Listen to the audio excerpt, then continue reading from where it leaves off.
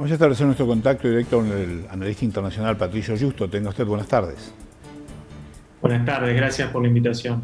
Eh, ¿En qué situación estamos hoy? En una situación muy, muy crítica, donde el avance de Rusia hasta ahora ha sido dentro de lo previsto desde el punto de vista de los objetivos militares de Putin y con una resistencia, por supuesto, muy fuerte, muy importante, heroica, podemos decir, de la ciudadanía ucraniana, pero que en esta tremenda disparidad de fuerzas, por supuesto que no es suficiente, y si Rusia no ha avanzado más, en mayor parte es porque todavía no ha querido. Por ejemplo, esto de habilitar los corredores humanitarios, eh, tiene que ver con que la negociación no está del todo cerrada, afortunadamente hay diálogo entre las partes, pero Rusia ha sido claro, no pararemos hasta cumplir nuestro objetivo final.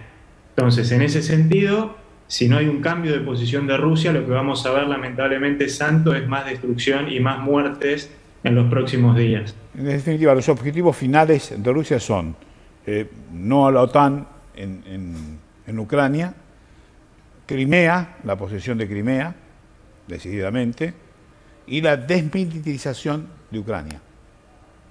Claro, esos son los objetivos del ultimátum que da Putin previo al inicio de la guerra. ¿sí? Ahora hay un objetivo adicional que es el derrocamiento del actual gobierno.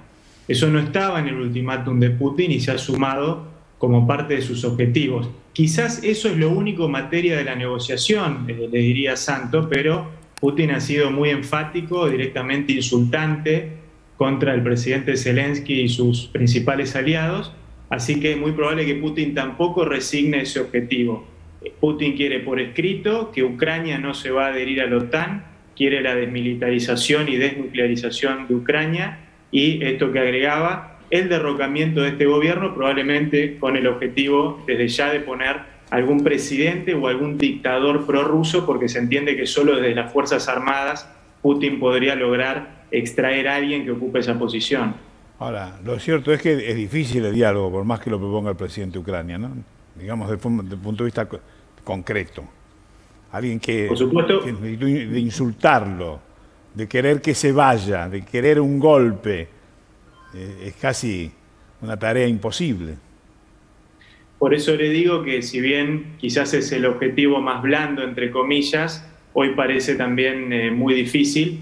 Y como usted dice, el diálogo entre medio, en medio de los bombardeos no es un diálogo real y tampoco un diálogo realizado en un lugar que no es neutral como Bielorrusia, que es un protectorado de Putin, es el principal aliado en el marco de esta invasión. Así que todos esos condimentos lamentablemente generan más decepción y pesimismo que eh, la posibilidad de otra cuestión. Macron también fue claro.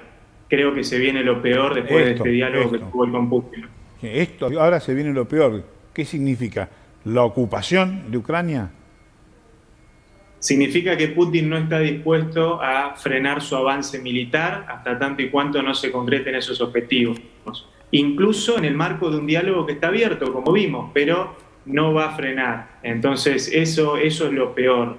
Lo peor es más muerte porque a medida que obviamente las tropas toman posesión de las grandes ciudades, las batallas son más encarnizadas y más letales. Entonces yo creo que a eso se refiere Macron con que viene lo peor. Y por supuesto no podemos soslayar, lamentablemente también, que acá estamos en el marco de una potencia nuclear, como es Rusia, que ya ha dicho que está dispuesta a usar la disuasión nuclear. Esto no sucedía desde digamos, desde que Rusia es una potencia nuclear, esto nunca había, había pasado. Así que tenemos que estar en alerta también, sobre todo por eso, y esperemos que la diplomacia no se rompa. Por más tenues que sean las líneas de negociación, tenemos que estar todos expectantes de que eso no se termine de romper, porque ahí sí estaríamos en una situación mucho peor. Patricio, cuando hablamos de Vladimir Putin, ¿frente a quién estamos? Porque es un hombre que tiene adelante la posibilidad de apretar un botón.